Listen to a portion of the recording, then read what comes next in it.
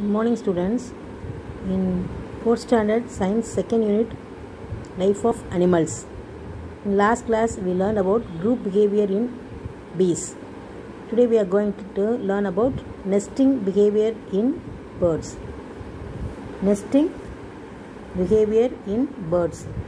பறவைகளின் கூடு கட்டும் நடத்தை birds are very different from each other பறவைகள் வந்து ஒன்றுக்கொன்று வேறுபட்டவை they live in different places அது வந்து எனக்கு வெவ்வேறு இதில் வந்து வெவ்வேறு இடத்துல வந்து வாழ்கிறது.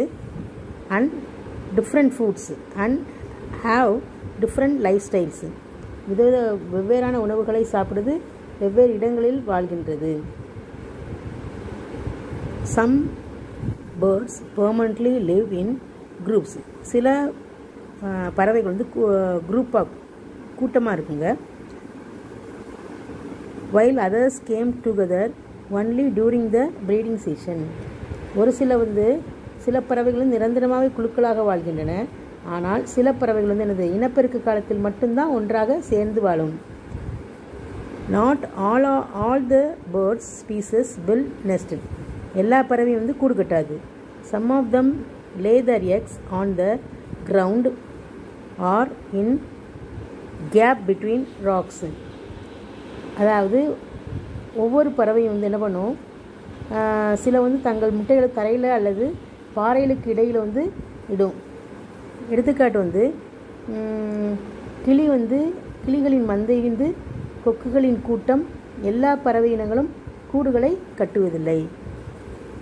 Most of the birds build the oh nest carefully like engineers they build nest for their young ones some weave leaves some use twigs some build uh, with thorns then with it with soft materials. பெரும்பாலான பறவைகள் வந்து பொறியாளர்களைப் போல கவனமாக தாமும் தம் இனம் பறவைகளும் பாதுகாப்பாக வாழ்வதற்கு கூடுகளை கட்டுகின்றன. பறவைகள் இலை மற்றும் மரக்குச்சிகளை கொண்டு கூடுகளை கட்டுகின்றன. சில பறவைகள் புட்களால் கூடுகளை கட்டி பின் அதன் மீது மென்மையான பொருள்களை கொண்டு தன் கூட்டினை அமைக்கின்றன. இந்த படத்தை பார்த்தா தெரியும் உங்களுக்கு.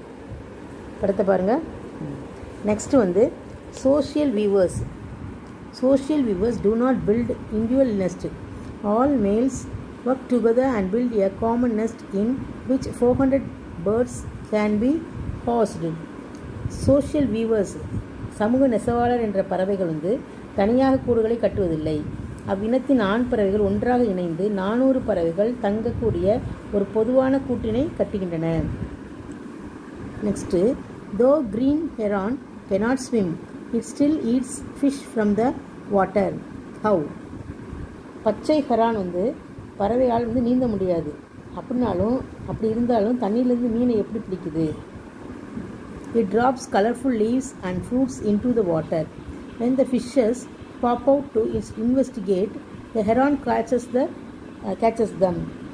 அதாவது வண்ணமயமான இலைகள் மற்றும் பழங்களை தண்ணீரில் போடும்போது என்னவென்று பார்க்க மீன்கள் வெளியே வரும்போது தன் அழகால் அவற்றை பிடித்து உண்கிறது.